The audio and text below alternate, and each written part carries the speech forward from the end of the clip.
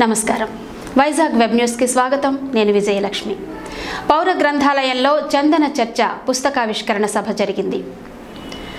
స్థానిక ద్వారకానగర్ పౌర గ్రంథాలయంలో ఆంధ్రప్రదేశ్ అభ్యుదయ రచయితల సంఘం విశాఖ శాఖ ఆధ్వర్యంలో ఆచార్య చందు సుబ్బారావు సాహిత్య వ్యాసాలతో కూడిన చందన చర్చ పుస్తకావిష్కరణ సభ జరిగింది. ఈ కార్యక్రమంలో ప్రముఖ రచయితలు కవులు సాహిత్యాభిమానులు పాల్గొన్నారు.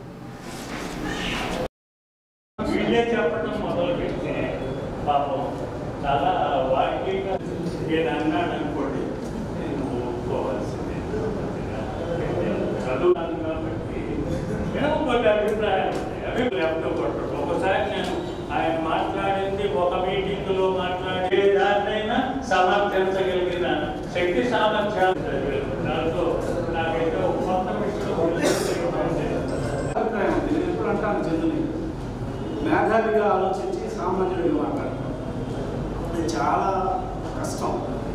మేధావిగా ఆలోచించి సామాన్యంగా మాట్లాడడం అంటే అన్ని విషయాలని తెలుసుకొని సామాన్యుడికి అర్థమయ్యే దాంట్లో మాట్లాడతాడు అయితే ఆయన హృదయం మాత్రం కమ్యూనిస్ట్ పార్టీలు ప్రజాస్వామ్యాన్ని కాక్షించే పార్టీలన్నీ కలవాలని ఈ దేశంలో సామ్యవాదం వచ్చేయాలని తాను నేను కూడా వెళ్ళిపోయేలోపు ఈ దేశం ఏదో బాగుపడిపోదన్నటువంటి ఉన్న మనుషుల్లో శ్రీసుబ్బారావు అందుచేతనే ఉక్రోషం బాధ అప్పుడప్పుడు వ్యక్తం చేస్తుంటాడు. దాన్ని కంట్రోల్ చేసుకుంటూ వెళ్తే అధ్యక్షుడిగా అది చాలా సలహా వస్తుంది.